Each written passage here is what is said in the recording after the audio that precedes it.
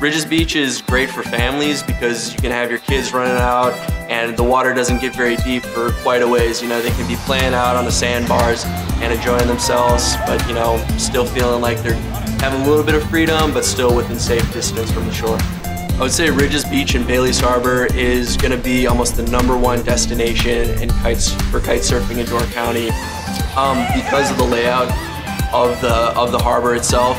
You have a great place for beginners to learn because you have a really shallow beach. So say you're learning, you can launch a kite at the south point on a south wind and go all the way down to the beach without any you know fear of getting sent out into Lake Michigan. You know it's a very safe harbor, um, but it's also you know a very strong harbor. You know, there's big waves that come in there, so it's a lot of fun for kiters. There's a jetty that protects uh, the water from the waves so you get a whole playground where there's no waves at all and you can do a lot more freestyle kind of trick-oriented kiteboarding.